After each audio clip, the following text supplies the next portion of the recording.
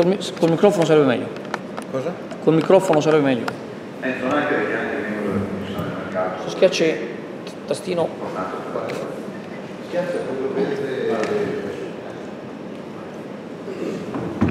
Sono Enzo Nacari, sono un operatore del mercato ittico. Volevo precisare alcune, alcune cose. Sono, concordo con quello che ha illustrato il dottor Tormento per quanto riguarda il fatturato e gli utili. Per quanto riguarda il fatturato del mercato, però volevo fare eh, una precisazione che è molto importante. Per quanto riguarda l'estero, il- non è esatto dire che c'è stata una diminuzione.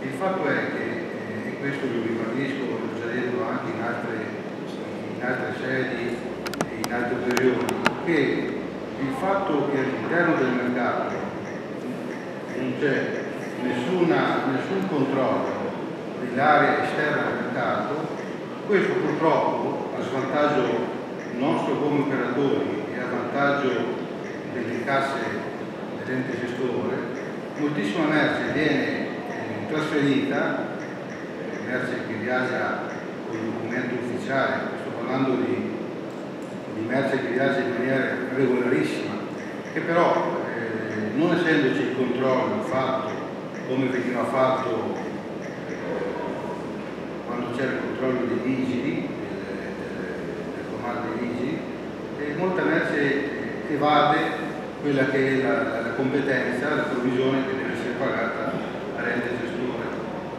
Io da operatore posso solo osservare che eh, non è veritiero che la merce estera è in, eh, in diminuzione, devo piuttosto dire che è convogliata in altri siti e questa è una cosa che fa male a noi operatori perché ci toglie la possibilità di, di poter anche noi usufruire di quelle che sono le percentuali di provvisione e eh, ancora peggio a quelli che sono eh, gli utili che potrebbero rimanere dalle SST all'ente gestore che, che non vengono pagati.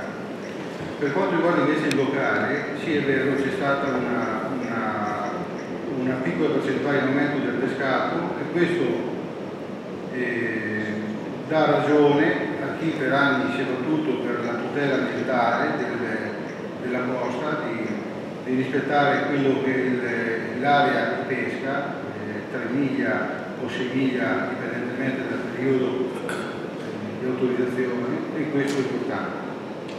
Un'altra cosa, l'utile, lei parlava di, il dottor Ternetti diceva che al netto dei costi, noi siamo imprenditori, siamo abituati a controllare giornalmente quello che, che avviene all'interno della nostra azienda, eh, volevo precisare che dal 65 ad oggi il mercato è sempre stato inattivo e con questi soldi il mercato si sarebbe potuto costruire senza chiedere niente a nessuno.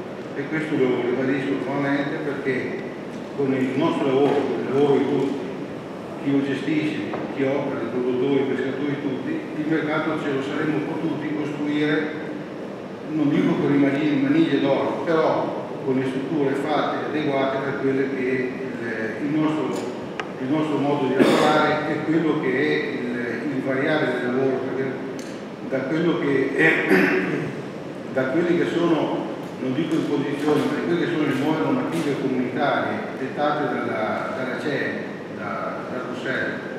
Eh, purtroppo il, il nostro modo di lavorare, di operare, di commerciale eh, deve seguire tutte queste indicazioni, queste leggi. E il mercato nostro in questo momento non ha, non ha più le caratteristiche, le strutture e l'organizzazione tale da poterci eh, far crescere come vorremmo farlo. In, in- in un, ultimo, un ultimo pensiero essere lungo, il- la, volontà, la volontà della costruzione del mercato. E I pareri sono eh, chi dice lo costruiamo in Aleghero, chi, chi- chi lo vorrebbe fatto in un, altro, in un altro luogo e comunque sempre nel territorio di Chioggia. Questo lo dicevo prima a un collega. Sappiamo che in Italia se si costruisce un qualcosa di provvisorio, poi il provvisorio diventa eh, definitivo, però è anche vero che è preferibile avere un qualcosa di nuovo, provvisorio, che diventerà definitivo che non avere nulla. Grazie.